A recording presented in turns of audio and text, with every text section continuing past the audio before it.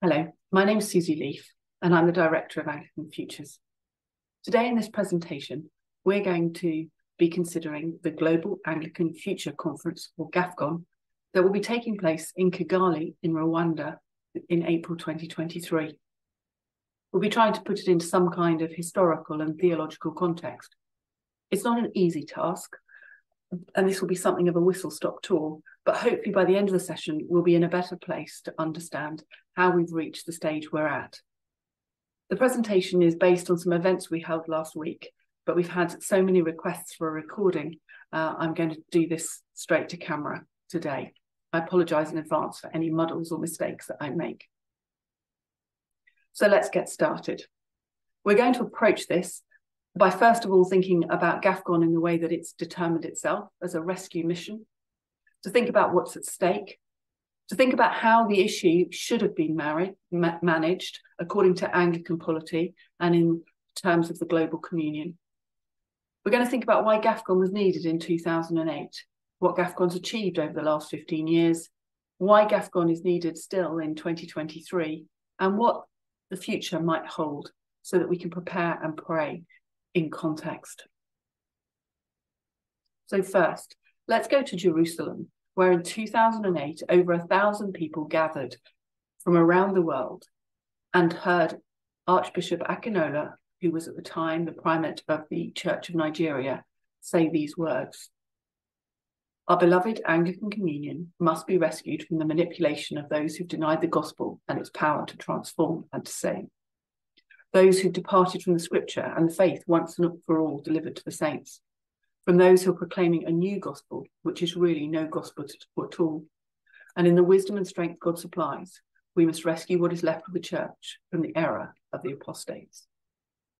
This was serious language, uh, calling uh, that the, the, some of the church had uh, apostatized, but it was also loving language.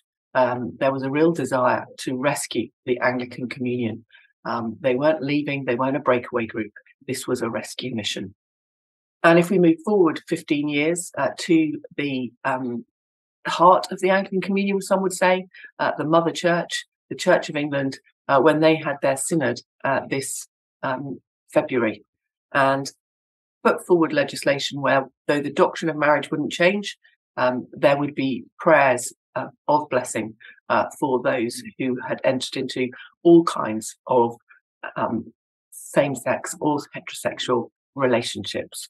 The Church of England is in a new place, and, and I'm really pleased with the decisions we've made. So it means that um, once these prayers are formally commended later this year, that faithful, stable Christian couples in a civil marriage or a civil partnership can, if they wish, come to church, and that you know, their love for each other in that relationship can be acknowledged, celebrated, and the couple can receive a blessing. That's never happened before. Mm. I'm pleased about that. But at the same time, I think I need to say, I'm not standing here full of joy because I think the debate has has clearly revealed divisions in the church over over these issues, and, and those divisions cut across you know, we're, we're a family and when families disagree, it's always painful. Um, so, so I'm also very committed and, it, and it dawned on me really through the debate that actually we could also today be doing something else very, very beautiful. And there were some very moving speeches from different people on, I don't like the language of sides, from different places saying this. We need reassurance that we have a place within the church. And if we can have that reassurance, we could do something incredibly beautiful, which is walk together with our disagreements. So, what's at stake? Two archbishops uh, speaking apparently about two totally different things. But Archbishop Akinola talking about two gospels, the Archbishop of York talking about the blessing of same sex unions and the differences that have appeared within the Church of England. On the surface, GAFCON and the wider divisions in the Anglican uh, Communion do appear to be about matters of human sexuality. And certainly in this presentation, we will trace recent history in relation to decisions churches and provinces have made in relation to ordaining and consecrating those in same sex unions and blessing same sex unions. However, like an iceberg, the real danger is not the presenting issue, but what is found beneath the, the surface. And that's because in coming to a decision to bless same sex unions, any one, a church or an individual, has to alter their understanding of what Christians have always believed about a whole range of issues, about human identity as created beings, as what God teaches us about human relationships. We have to change our views of the nature of sin and our need for salvation. In fact, it even impacts the nature of God as Trinity and Christ's divinity. And all this comes because of an undermining of the authority of Scripture. And in fact, in the background to so much of this, we just hear that serpent's voice in the Garden of Eden saying, Did God really say? No one would have chosen to take a stand on issues of human sexuality. It's too painful for too many people. But this is the issue of today and the place where the gospel is being attacked. And as Luther once said, it does not help that one of you would say, I will gladly confess Christ and his word on every detail, except that I may keep silent about one or two things which my tyrants may not tolerate, such as the form of the sacraments and the like. For whoever denies Christ in one detail or word is denied the same Christ in that one detail, who is denied in all the details, since there is only one Christ in all his words, taken together or individually. We can't pick and choose what Christ says. Similarly, and another quote that's often attributed to Martin Luther if I profess with the loudest voice and clearest exposition every portion of the word of God, except precisely that little point which the world and the devil are at that moment attacking, I'm not confessing Christ, however boldly I may be professing him. And so we are called as Christians uh, to consider these issues compassionately, but we must take a stand. The Book of Common Prayer gives us um, a prayer for the state of the Christ's Church militants here on earth. And in it, it calls us to beseech on the Lord, beseeching thee to inspire continually the universal church with the spirit of truth, unity, and concord, and grant that all that they that do confess thy holy name may agree in the truth of thy holy word and live in unity and godly love. And that's what GAFCON longs for. That's what all Christians long for to live in unity and godly love. But we see from the doctrine placed there in the Book of Common Prayer, how do we do that? By agreeing in the truth of thy holy word. And that's one of the things that we've seen turned on its head over the last couple of decades. The 39 articles are the um, sort of uh, the closest that the um, Church England gets to a confession of faith. Uh, interestingly, they were put together in order to bring to an end uh, the me- many, many debates that had been taking place uh, during the Reformation. And if we look at the church, at the 39 articles, we'll see that the Church of England never presumed that there would be a perfect church. Although in the visible church the evil be ever mingled with the good, and sometimes the evil have chief authority in the ministration of the word and sacraments, Article 26. And in Article 21, we see when they, the general councils, be gathered together, for as much as they be an assembly of men, whereof all be not governed with the Spirit and the word of God, they may err, and sometimes have erred, even in things pertaining unto God. So the Church of England has never seen itself as a perfect church, but it has said that here on earth there needs to be an ordered church. And so even if we have those wicked ministers um, in place, Christ's ordinances, the grace of God's gifts, would not be diminished by being uh, given to us by wicked ministers. However, nevertheless, it appertaineth to the discipline of the church that inquiry be made of evil ministers, and that they may be accused by those that have knowledge of their offences, and finally, being found guilty by just judgment, be deposed. So we have a church which isn't perfect, but is ordered we also interestingly see that even back in the time of the Reformation, it was to be a diverse church. It isn't necessary that traditions and ceremonies be in all places one or utterly alike, for at all times they've been diverse and may be changed according to the diversity of countries, times, and men's manners, so that nothing be ordained against God's word. Whosoever thought, though, his through his private judgment willingly and purposely doth openly break the traditions and ceremonies of the church, which be not repugnant to the word of God and be ordained and approved by common authority, ought to be rebuked openly, that others may fear to do the like. So here we have a diverse church within boundary where nothing should be ordained against God's word. And why is it that the Anglican Communion is a global church? Why did the Church of England end up as a global church? Well, that's a lot to do with the um, England's uh, colonial past. as uh, English people went out around the world, uh, first as they went um, doing business, uh, then as they went ruling places, and also as missionaries, uh, we saw the spread of the Anglican way of doing church into different parts of the world. And because of that, um, links to the colonial past, we also have links to the time of independence as churches, as countries around the world became independent politically of England. So the churches became uh, independent of the Church of England. And we've seen that in different times in different places. So the United States of, the, of America, the church, the Episcopal Church, which was then known as the, um, the Protestant Episcopal Church of the USA, became independent in 1789.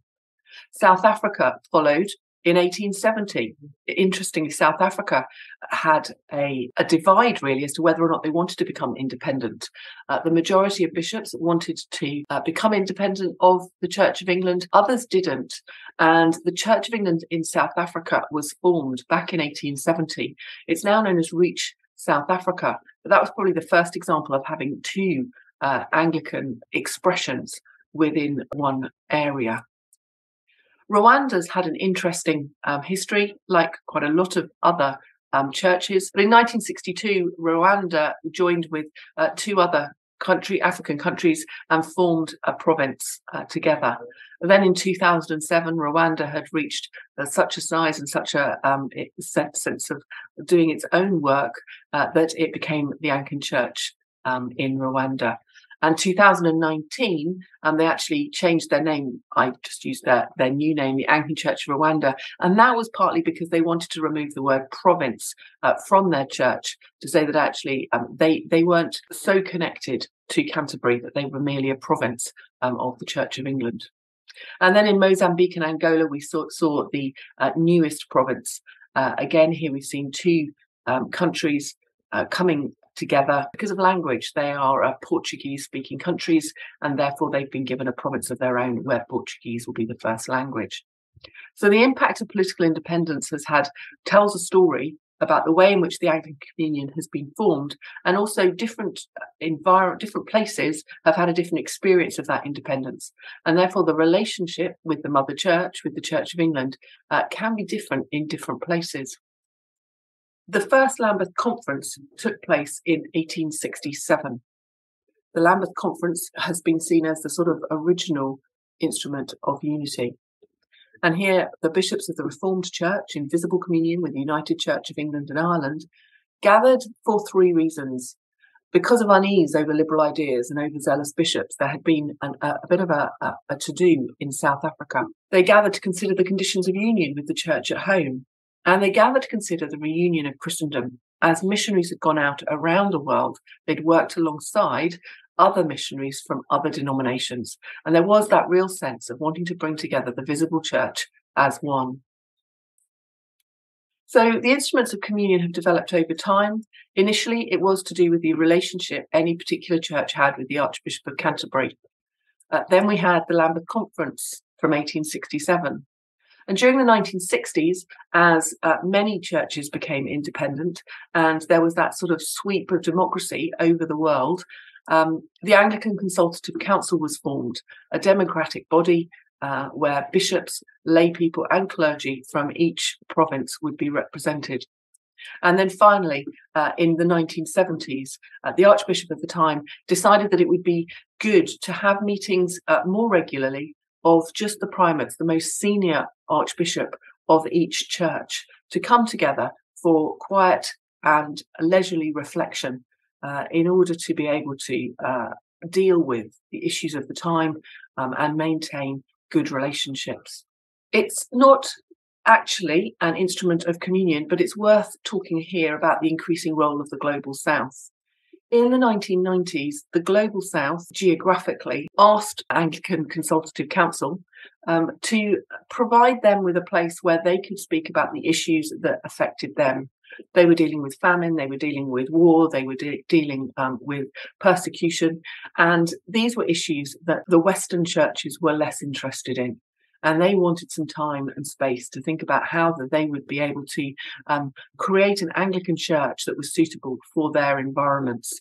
and the South to South encounters were created. Over time, they became a, a, little bit more forceful and actually started to describe themselves as the Global South Conference, uh, separating themselves slightly from the Anglican Consultative Council.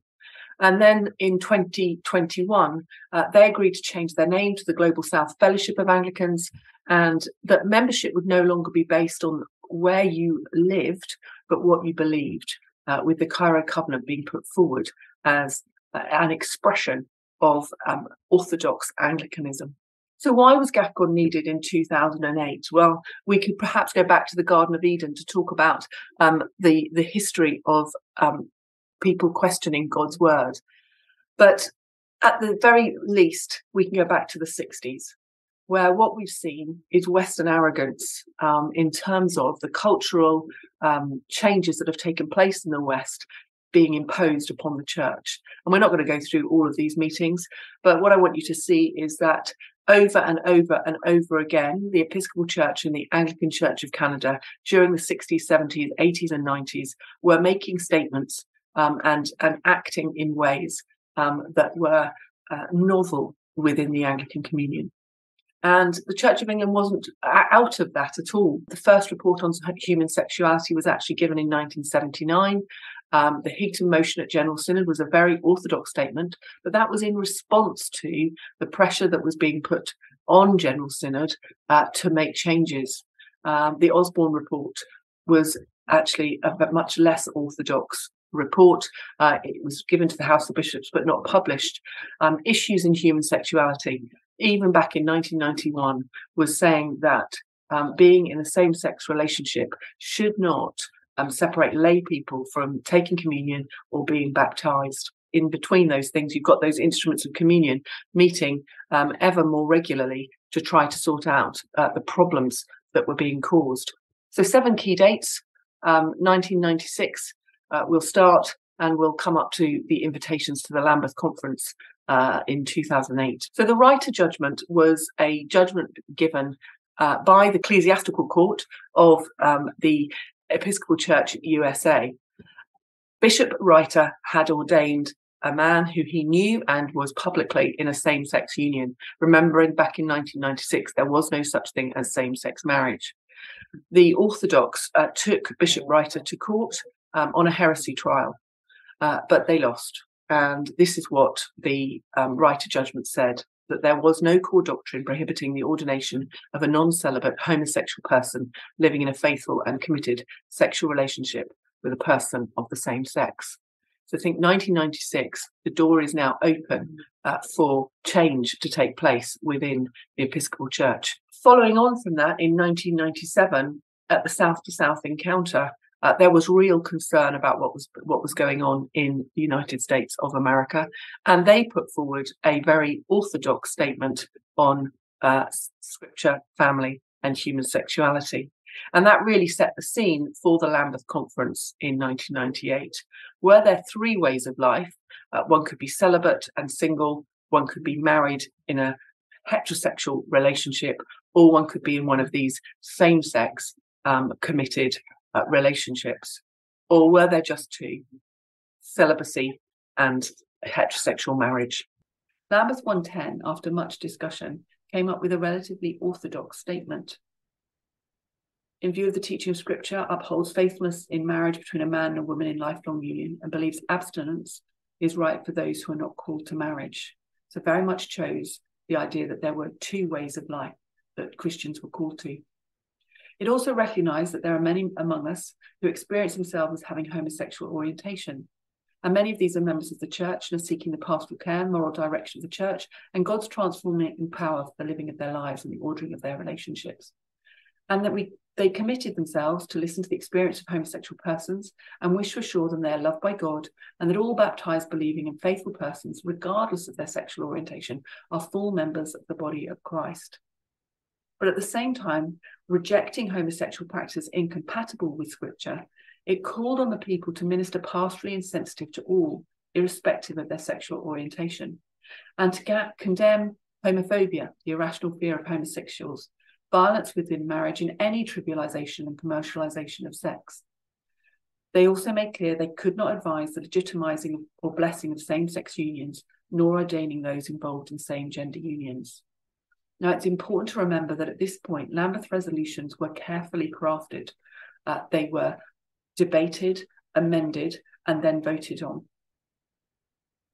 And so at the Lambeth Conference in 1998, when Lambeth 110 was put to the vote, 526 bishops voted in favour, 70 against, and there were 45 abstentions, which is often considered a real um, overwhelming win for the Orthodox.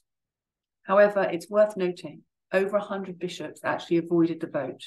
And within, um, the, before the end of the conference, 185 bishops signed a letter saying that they pledged that they would continue to reflect, pray, and work for your full inclusion in the life of the church. The letter was written to the LGBT community.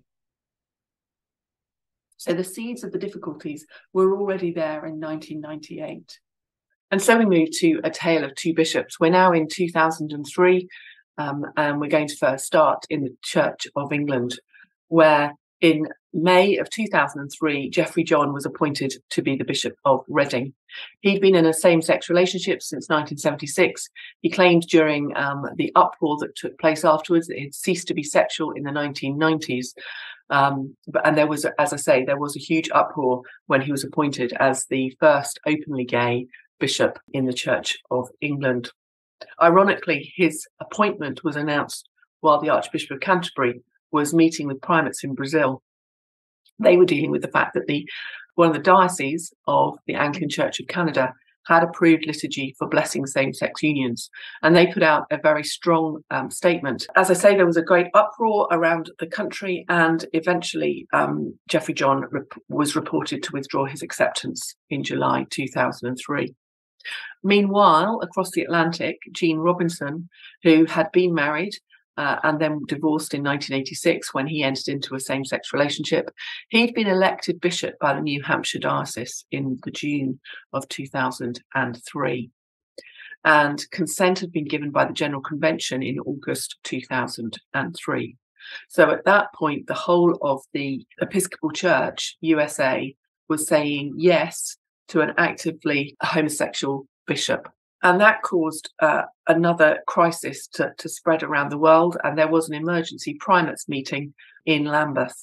So, just to, to, to put that into some context, they'd already met since the Lambeth conference. They'd met in uh, Porto in Portugal, in Kanuga in the USA, in Canterbury, and as I mentioned before, in Brazil. And each time they put out statements that were backing up that Lambeth 110 resolution and warning the United States and Canada that it was not an appropriate thing to push forward on these issues. So in 2003, uh, they were brought to Lambeth for an emergency primates meeting. And this is where they said, if his consecration proceeds, we recognise that we've reached a crucial and critical point in the life of the Anglican Communion. And we've had to conclude that the future of the Communion itself will be put in jeopardy. This will tear the fabric of our communion at its deepest level and may lead to further division on this and further issues as provinces have to decide in consequence whether they can remain in communion with provinces that choose not to break communion with the Episcopal Church. They couldn't have been clearer. And yet, just a few weeks later, Gene Robinson was consecrated as the Bishop of New Hampshire uh, by the majority of the Episcopal Church's bishops. Now, that led to real crisis in the United States. And we started to see more churches uh, leaving um, the Episcopal Church and what was what became known as cross-border interventions taking place. These churches, these dioceses, they looked to their friends in the global south uh, for episcopal oversight. Um, now, those arrows don't go to particular locations, but uh, within Canada and within the United States of America, we saw places like Nigeria, Rwanda, Uganda, Southern Cone uh, offering alternative episcopal oversight um, in the sense that um, churches within the United States or churches within Canada actually became little outposts of the churches of Nigeria, Rwanda, Uganda, and the Southern Cone. Now, to try to manage this crisis, uh, something called the Windsor process started. That was because it was based on a report, the Windsor report, uh, that was first received in 2004. Uh, and that made um, some recommendations as to what needed to happen. And really, that those recommendations were proper apologies and repentance from the United States and Canada, and a withdrawal of this kind of alternative episcopal oversight. And they met in Dromantine in Northern Ireland, said the same thing, and they met in T- Tanzania uh, in 2007.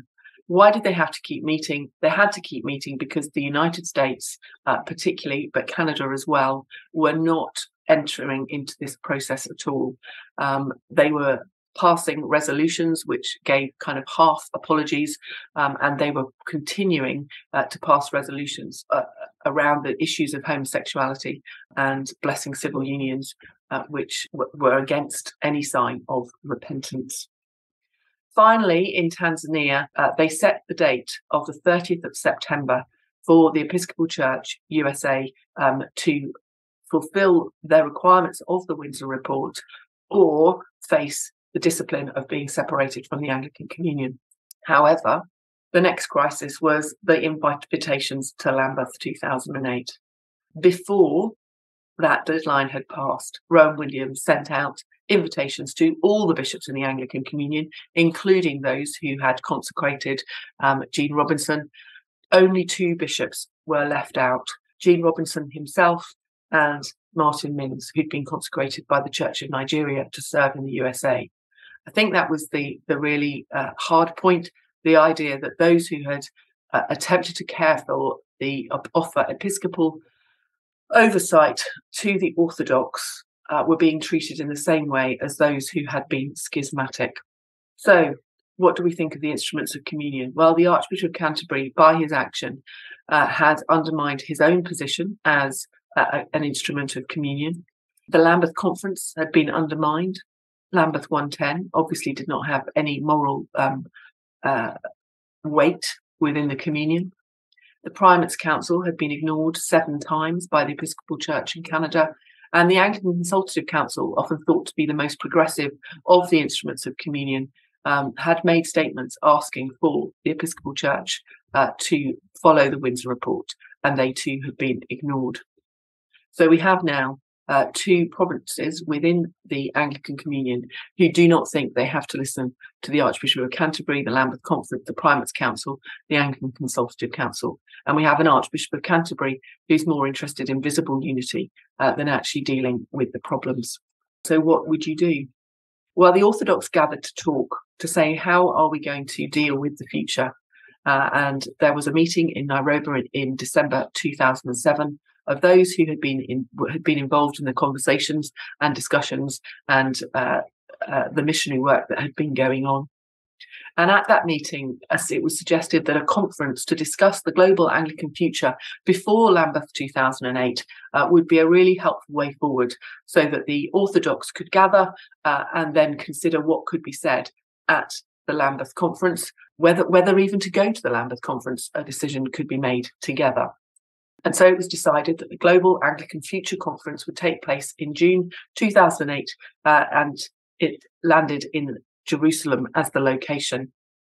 It's worth saying here that not everybody was in agreement about this um, this plan to move forward. Some really senior figures in the global south, Archbishop Mouneer Anis, Archbishop John Chew, uh, and in fact the Bishop of Jerusalem, all raised concerns about this conference.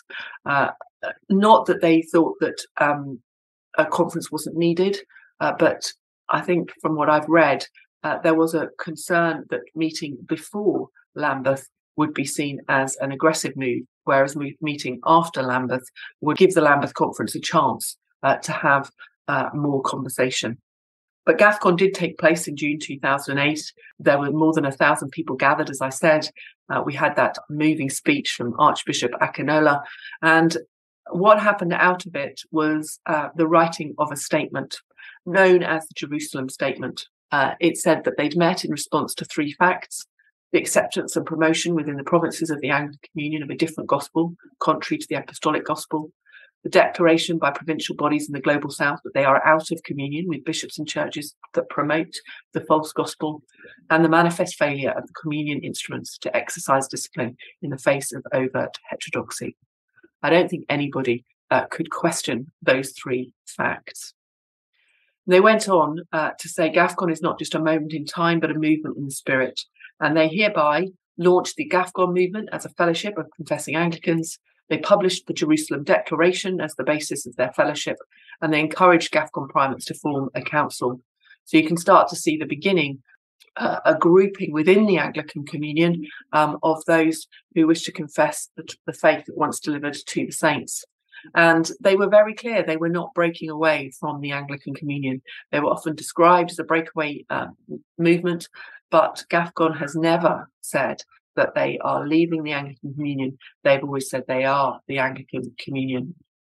They also, um, and I suppose controversially, said the time was now right for the formation of a province in North America. So, what has GAFCON achieved over the last 15 years? Well, that movement continued.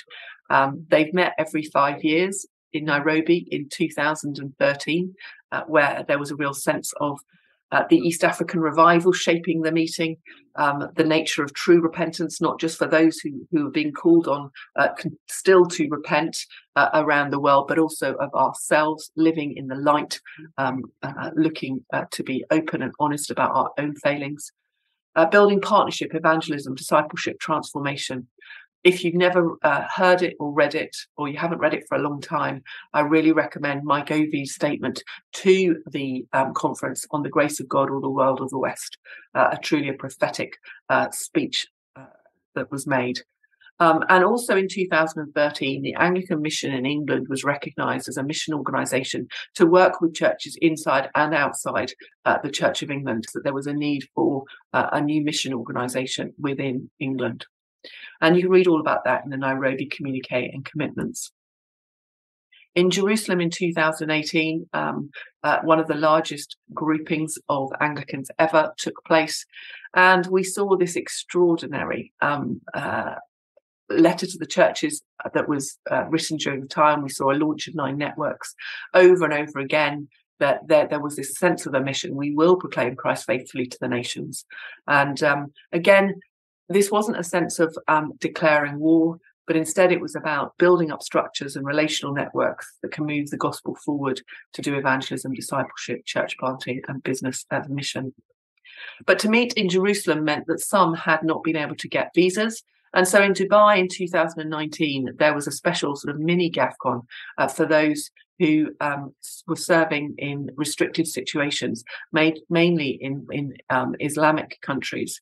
And um, there we heard some extraordinary stories of what it was like to live and work and um, seek to uh, be a disciple of Christ in such uh, complex and dis- difficult situations.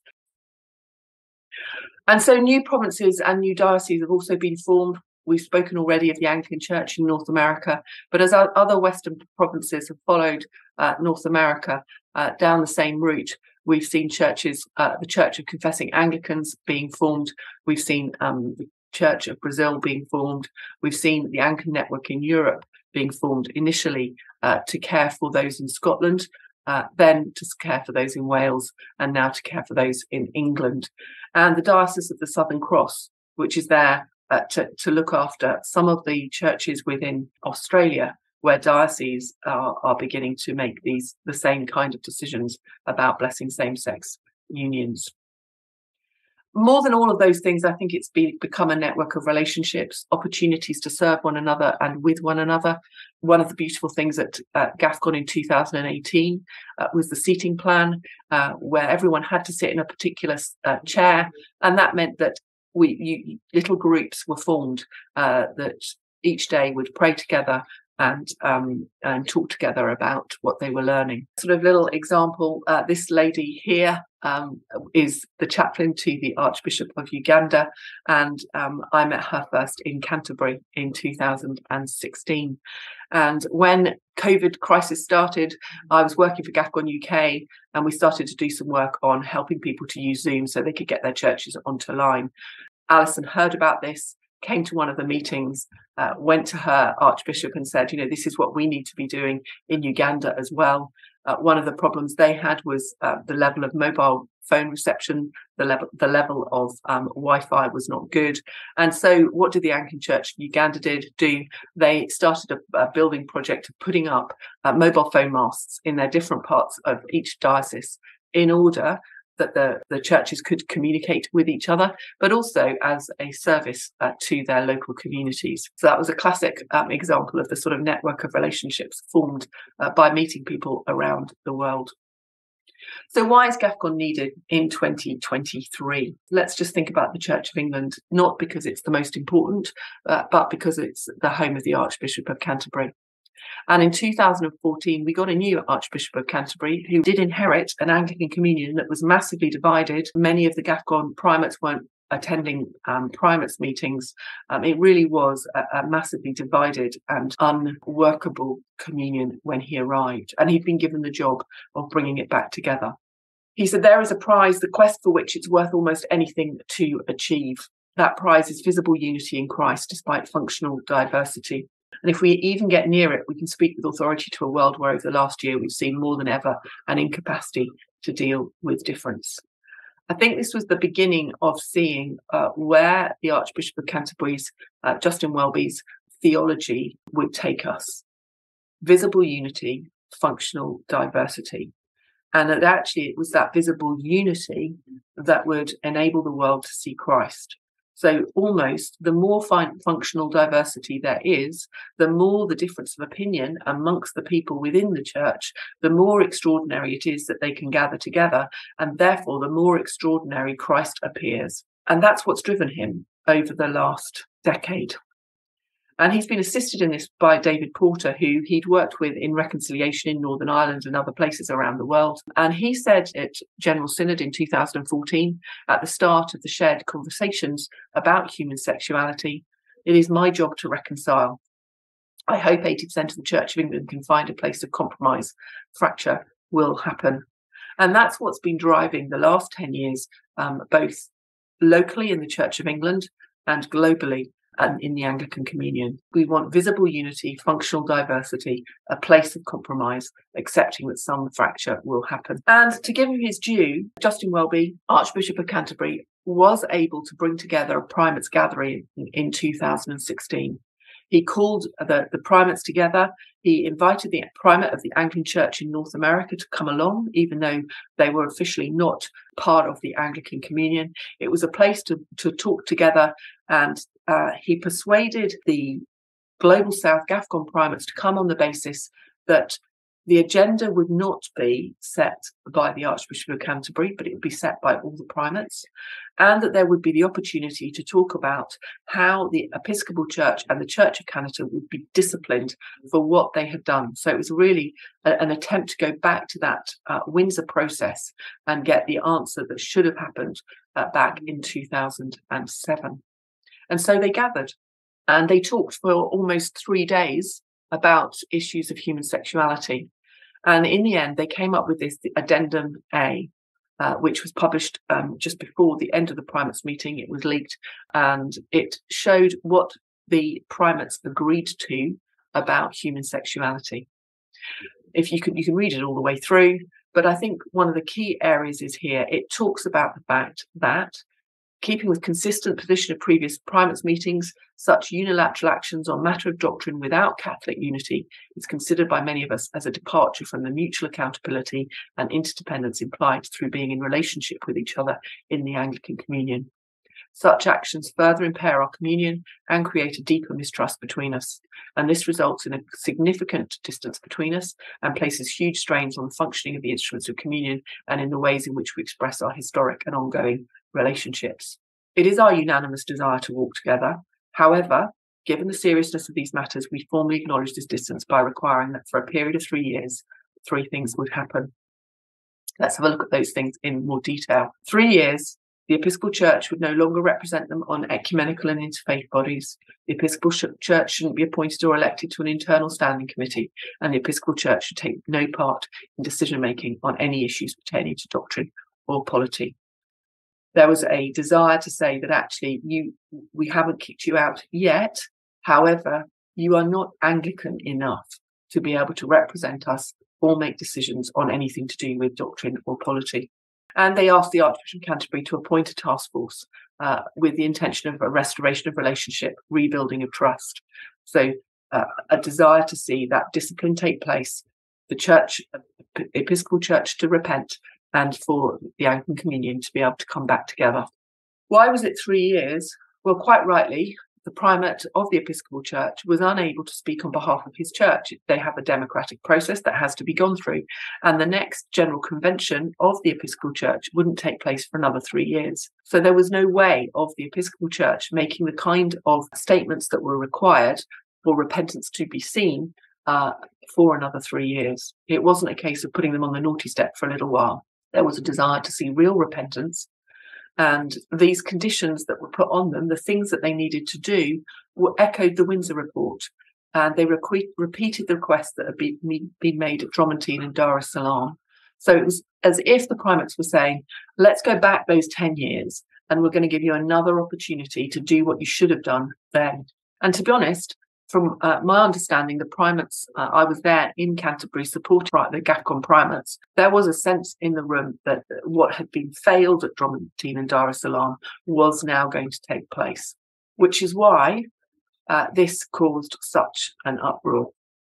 Through the week, it was clear that everyone uh, who was there had come with a desire to try and understand each other and listen to each other. The spirit of the meetings uh, was was good.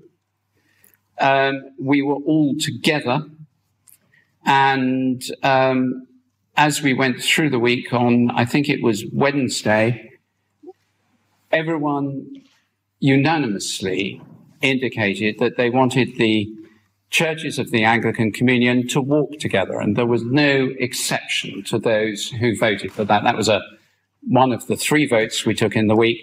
It was a public vote and it was universal and unanimous.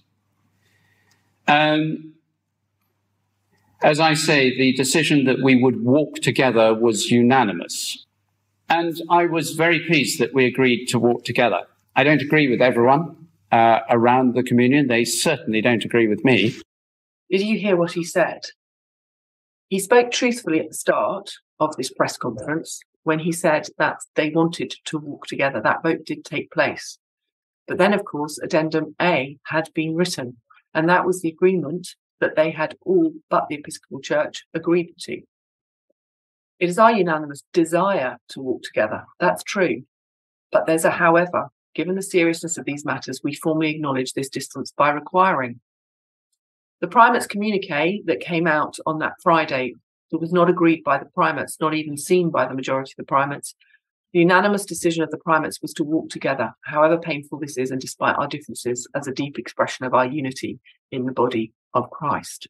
And then we've just seen Justin Welby at the press conference. It was our unanimous decision to walk together and to take responsibility for making that work. That's why, as I sat in a little kind of conference room um, in Canterbury, as we watched that, I saw grown men cry. And it wasn't until I understood the history of the decisions of the primates over decades that I understood why these men were devastated. It was a case of here we go again. And since the primates meeting of 2016, we've just seen an onslaught of Western provinces realizing that they can do exactly what they want you can just keep on going.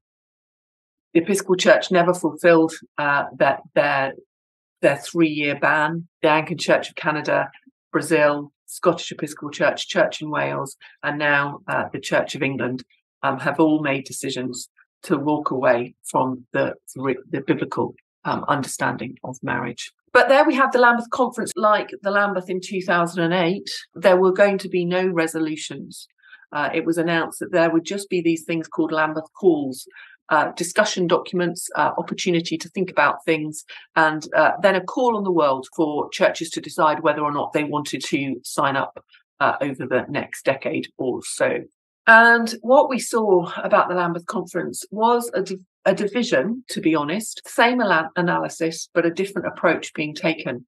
It's really important to recognise that GAFCON and the Global South Fellowship of Anglican Churches are still very much overlapping bodies. The chair of the GAFCON uh, primates is also the treasurer of, treasurer of the Global South Fellowship of Anglican Churches. So there is a massive overlap between these two groups. But those who would identify themselves predominantly with GAFCON, uh, their view was we can't walk together, and so we shouldn't go. We need to make it clear visibly that we are not walking together.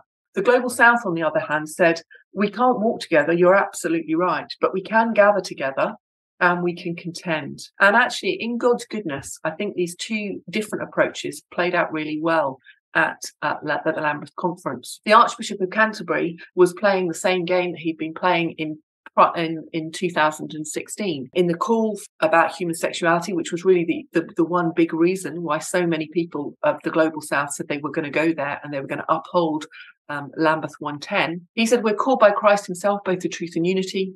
This there is no attempt to change people's minds in this call. Truth and unity must be held together. But church history also says that this sometimes takes a very long time to reach a point where different teaching is rejected or received. I neither have nor do I seek the authority to discipline or exclude a church of the Anglican Communion, and I will not do so. So he has said there is now no discipline within the, the Anglican Communion. It is quite possible for there to be uh, different truths whilst claiming that we are united. And into that space stepped the Global South Fellowship of Anglican Churches and this man, Archbishop uh, Badi Arama, who uh, was quite extraordinary throughout the Lambeth Conference. As the Archbishop of Canterbury continued to say, as bishops, we remain committed to listening and walking together to the maximum possible degree, despite our deep disagreement on these issues. And he repeated that over and over again during the conference. There was Archbishop Justin Badi saying very clearly Today in Canterbury, we may be gathered together, but we most certainly cannot walk together until provinces which have gone against scripture and the will of the consensus of the bishops repent and return to orthodoxy. He also said a communion is where you have one belief, one doctrine. And here there is an issue where there are two different doctrines. How can you walk together?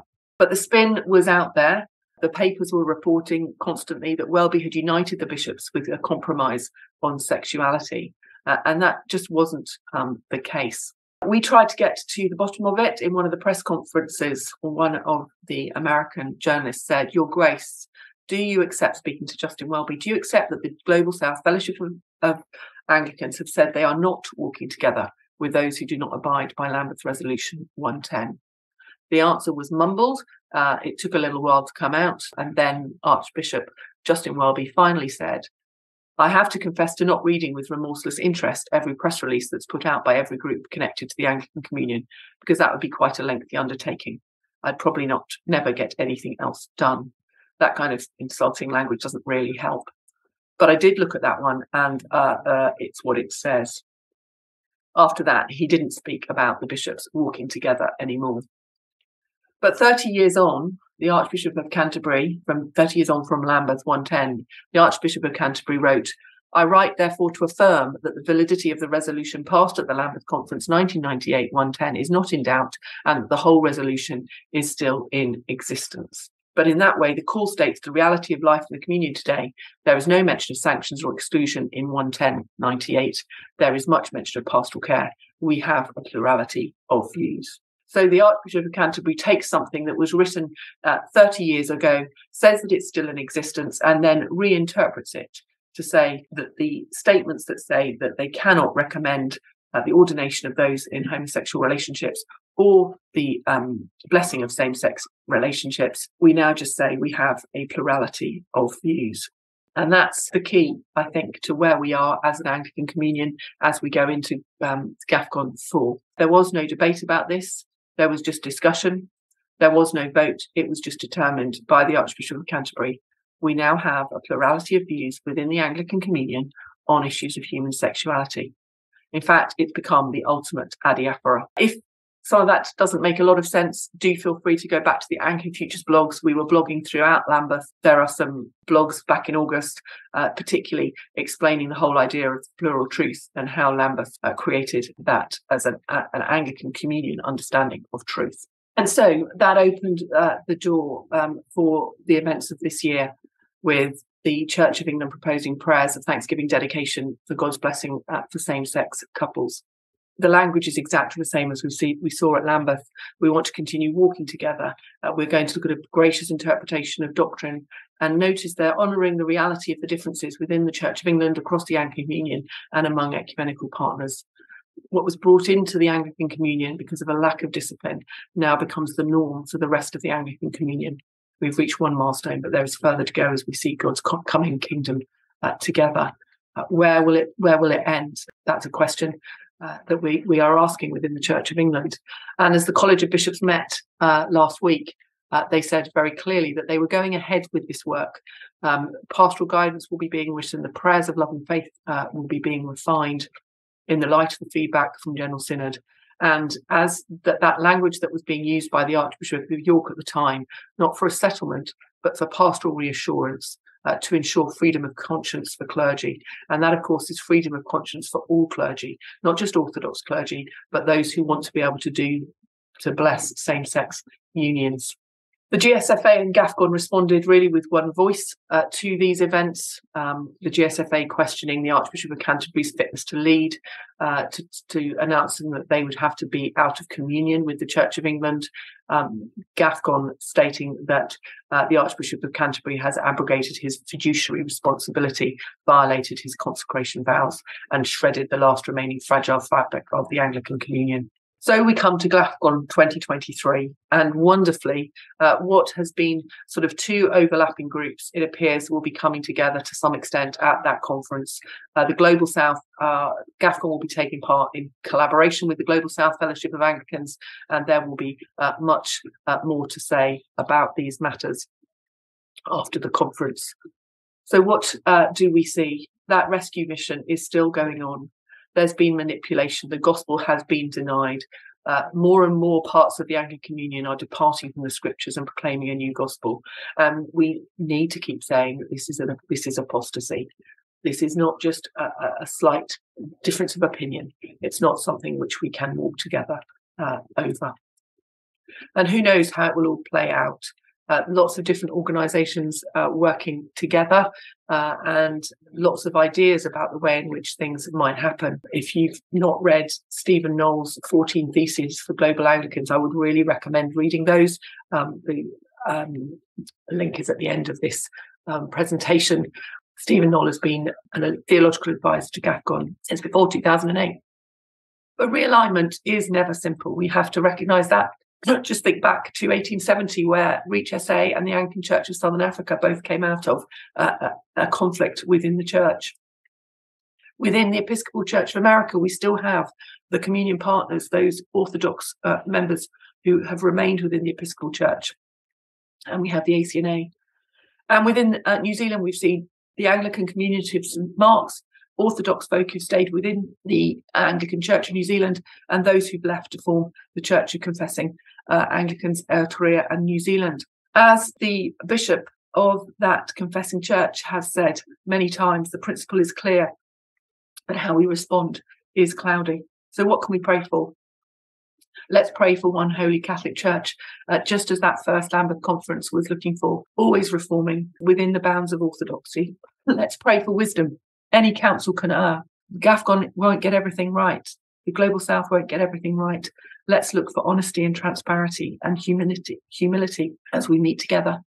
And let's pray for love, patience, kindness, the fruit of the Spirit working amongst uh, all those gathered in Kigali. But whatever the structures that come out of it, I think what we'll see more and more of is the Canterbury Communion focusing in on that institutional unity, that idea of visible unity, and that is always going to be there where uh, uh, where power is at play, power of uh, keeping people in the institution in order that it appears that there is visible unity. Whereas I think that the biblical unity of the new Anglican Communion will be based on that purpose of doing mission. It's interesting that the Canterbury Communion, whilst kind of throwing away orthodox ethics, has actually just become a place for moralizing. If we look at the calls, the Lambeth calls that came out in 2022, uh, what we saw was a list of things that could have come out of any uh, sort of political conference, moralizing about the way in which people should live rather than talking about the mission which shapes so much the biblical unity of the new Anglican Communion. And I think it's it's sad, isn't it? The Canterbury Communion, in some ways, was formed. Uh, it was formed in the Reformation, but it was also formed in a way that was was convenient. Many of us have entered the Canterbury Communion for uh, reasons of convenience, and what we're going to need to see uh, in in the future is a commitment uh, to Anglican doctrine and, and a commitment to being brothers and sisters in Christ around the world if we're going to remain united in that kind of biblical unity. I'll leave us with the words of Dr. Ashley Null. He was speaking uh, to the GAFCON primates, and he said this In conclusion, mission, I say mission. Mission in our hearts, in our heads, in our hands, in our hopes, in our failures, in our dreams, in all our lives, and at our death, mission. For mission has always been the essential DNA of authentic Anglicanism, since mission is the very nature of God's active presence in our midst as the church militant. Thanks be to God, our Lord will not rest until we and all that are His are revealed as a church triumphant for all eternity. So, some ideas for further reading and watching. There's some great things out there. Thoroughly recommend Mike Ovey's talk. There's a great little documentary um, on the GAFCON website. Obviously, I'd recommend the Anglican Futures blog. If you want to read slightly bigger books, I can recommend The Global Anglican Communion by Stephen Noll, uh, particularly Essay 7, and um, this book, Being Faithful, which was published in 2008. Uh, about the shape of historic Anglicanism. It's it's a kind of commentary on where the Jerusalem Declaration um, came from. For those of you who don't know much about Anglican Futures, uh, we are a charity. Uh, we are volunteers for now, although we are trying to raise some money to get some help uh, with uh, administration as things become busier. Uh, we offer practical and pastoral support and analysis uh, through our blog, for faithful Anglicans in England and uh, uh, Europe. Uh, we are free at the point of need. We rely entirely on donations. And if you don't sign up to our regular roundup emails, uh, do feel free to subscribe on our website. You'll find that at www.anglicanfutures.org. Uh, we are on Facebook at Anglican Futures and Twitter. Uh, it would be great to hear what you think of this presentation in those places. Thanks very much for listening.